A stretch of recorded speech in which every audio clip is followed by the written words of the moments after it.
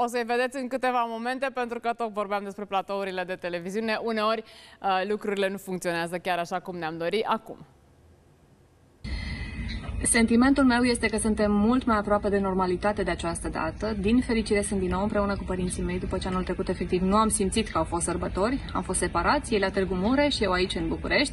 De această dată suntem împreună, cred că suntem mai puternici în fața virusului, suntem vaccinați, unii imunizați natural deocamdată, dar suntem încrezători că va fi bine. Să aveți un Paște cât se poate de frumos.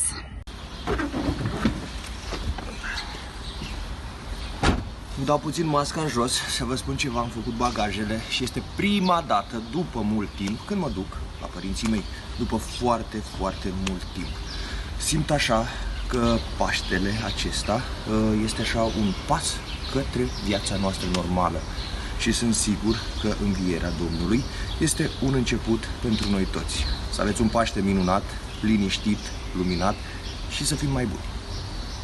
Dragii mei, în această zi sfântă vă doresc să fiți sănătoși, să vă fie familiile sănătoase și să petreceți în tihnă cu cei dragi alături. Sufletele să vă fie pline de bucurie și de lumină, masa să vă fie îmbelșugată și să găsiți speranța pentru lucruri mai bune. Hristos a înviat! Paștele pentru mine înseamnă primăvară și cozonaci. Anul trecut am făcut Paștele singură, acasă, pentru că m-am pus pe mine pe locul 2 și pe ai mei pe primul loc, pentru că nu știam foarte multe despre coronavirus, am preferat să stau acasă singură ca să-i protejez pe ei. Anul acesta avem vaccin, mergem acasă și petrecem împreună, mai ales că am auzit că vin și temperaturi de vară. Sărbători fericite!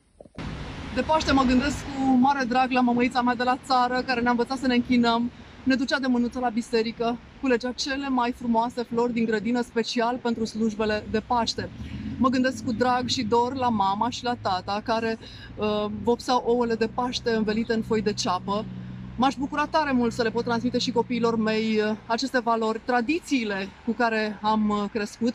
Paștele este despre familie, despre a fi alături de cei dragi. Vă doresc să vă găsească sărbătorile sănătoși, împreună cu toți cei pe care îi iubiți și să ne revedem cu bine. Paște luminați aveți!